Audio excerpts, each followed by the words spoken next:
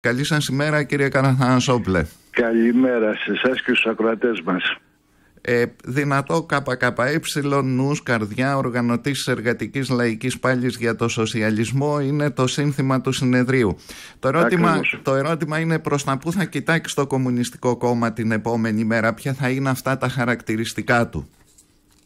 Κοιτάξτε, ε, αυτά τα οποία θέλουμε να αναδείξουμε είναι ακριβώς ότι σε δύσκολες συνθήκες, σε συνθήκες ε, υποχώρησης του κινήματος αντεπανάστασης ε, και κρίσης του, του καπιταλισμού και η πανδημία η οποία υπάρχει. Ε, αυτό το οποίο θέλουμε να αναδείξουμε είναι ότι τα αδιέξοδα του συστήματος οι αντιφάσεις του συστήματος και τα μεγάλα προβλήματα που αντιμετωπίζει η λαϊκή οικογένεια δεν μπορούν να αντιμετωπιστούν με οποιαδήποτε μορφή διαχείρισης ε, της κατάστασης, με οποιοδήποτε διαχειριστικό μείγμα. Ε, γιατί ουσιαστικά έχει χρεοκοπήσει τόσο η λογική του μικρότερου κακού, όσο και το ποιος θα μπορέσει να διαχειριστεί καλύτερα το σύστημα.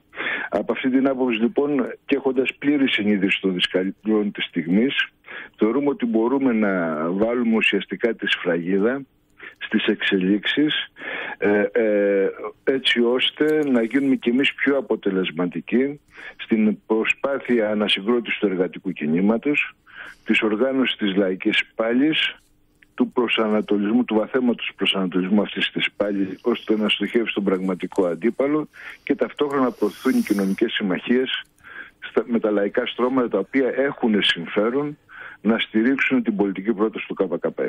Ε, επιτρέψτε μου να ρωτήσω, σε ποια σημεία θα δοθεί βάρος, θα συζητηθεί, θα αναλυθεί η κρίση του κομμουνιστικού κινήματος, οι προοπτικές ποιες θα είναι; Ή ποιες θα περιγραφούν ότι μπορεί να είναι; Λοιπόν, κοιτάξτε, τα, τα σημεία που απασχολούν επί της ουσίας το συνέδριο είναι πρώτον πώς το, πώς το Κομμουνιστικό Κόμμα Ελλάδας θα γίνει πιο ισχυρό, πώς θα μπορέσει δηλαδή να απαντήσει στις σημερινές ε, αντιφάσεις της εποχής. ε, και όχι μόνο να απαντήσει μελετώντας τις εξελίξεις όπως και εσείς πολύ σωστά είπατε ε, και τις ε, ανεπάρκειες του καπιταλιστικού συστήματος αλλά και ταυτόχρονα πώς θα γίνουμε πιο δυνατοί εκεί που χτυπάει η καρδιά της εργατικής τάξης δηλαδή στους μεγάλους εργασιακούς φόρους. Ένα θέμα είναι αυτό το οποίο μας απασχολεί. Θα συζητήσουμε δηλαδή τον απολογισμό της δουλειάς του προηγούμενου διαστήματος και τον προγραμματισμό της δράσης για το επόμενο χρονικό διάστημα και ταυτόχρονα θα συζητήσουμε πολύ πιο συγκεκριμένα, πολύ πιο ουσιαστικά την κατάσταση στο εργατικό και λαϊκό κίνημα και τις απαιτήσεις που αυτή η κατάσταση βάζει μπροστά στο κόμμα και στο κίνημα συνολικότερα. Κύριε Καραθανασόπλε, συνήθως στα συνέδρια αναζητείτε μια πρόταση εξουσίας.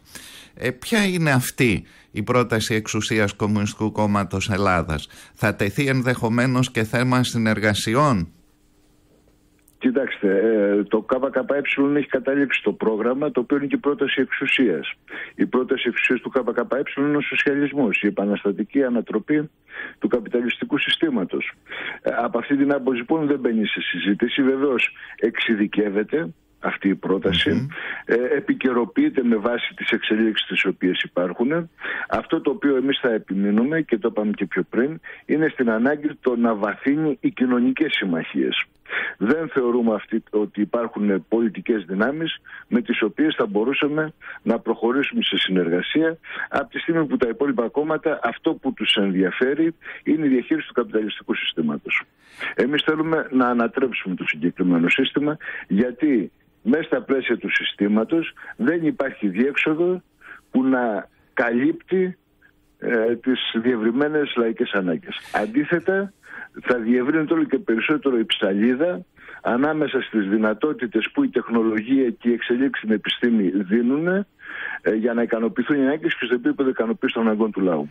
Πάντως, κύριε Καραθανασόπλε, στην αριστερά υπάρχει η θεωρία των μετόπων, έτσι. Ε, το Κομμουνιστικό Κόμμα συζητά συμμετοχής του σε ένα μέτωπο απέναντι στη Νέα Δημοκρατία, ενδεχομένως μετά από εκλογές με απλή αναλογική, ή αν ε, ένα μέτωπο προκύψει από την κοινωνία, από τη βάση, από το κίνημα, το εργατικό, το, το ευρύτερα συνδικαλιστικό.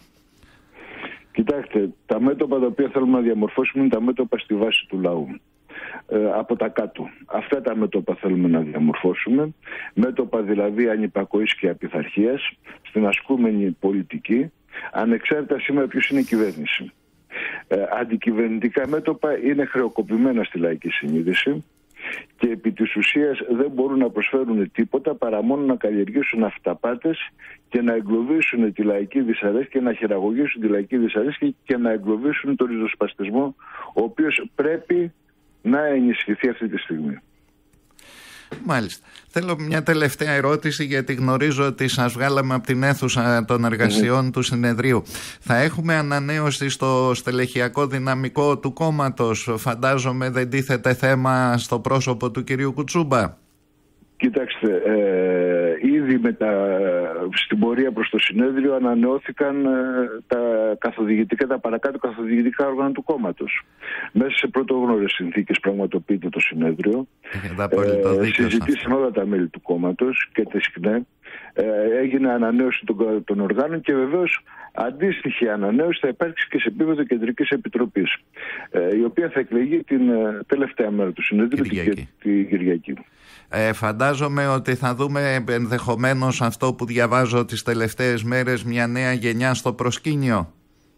Κοιτάξτε, πάντοτε πρέπει να υπάρχει συνέχεια ανάμεσα στη παλαιότερη γενιά και στη νεότερη γενιά. Και εμείς με εμπιστοσύνη στηρίζουμε τα νέα, το νέο στελεχικό δυναμικό, το οποίο αναδείχθηκε κάτω από ε, ιδιαίτερα δύσκολες συνθήκες στο προηγούμενο χρονικό διάστημα.